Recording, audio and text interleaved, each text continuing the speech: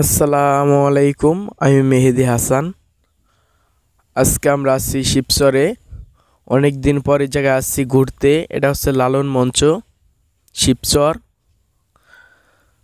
আর আমাদের এই ভিডিওটি দেখার আগে আপনি যদি আমার চ্যানেলে নতুন দর্শক হয়ে থাকেন, তাহলে এখনই সাবস্ক্রাইব করে পাশে থাকা বেল আইকনটি অন করে দেবেন নতুন নতুন ভিডিও পাওয়ার জন্য। এই লালন মঞ্চের এদিকে অনেক লেখা আছে।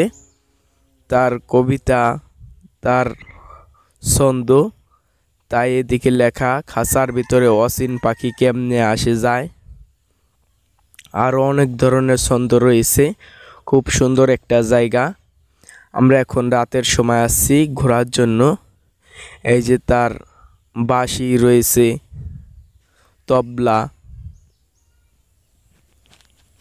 এইগুলা দিকে আঁকা হয়েছে। আমার মনে হয় মাটি দিয়ে। অনেক সুন্দর একটা জায়গা। আমরা রাতের সময় আসছি আবার অনেক লেখা রয়েছে। এই জায়গায় লাইট লাগানো হয়েছে। এটা এক বাজারের ভিতরে, সামনে পুষ্কুনি রয়েছে এটার।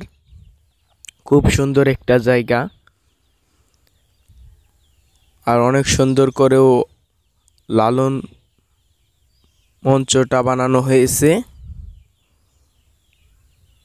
আমরা আজকে এই ঘুরে দেখলাম অনেক সুন্দর জায়গা এদিকে।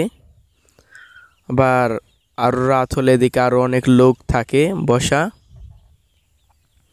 এখন লোক কম, আমরা আসছি ভালো সময় ঘুরে দেখতে পারলাম। অনেক সুন্দর একটা জায়গা রয়েছে বিচে রয়েছে মার্কেট এটার।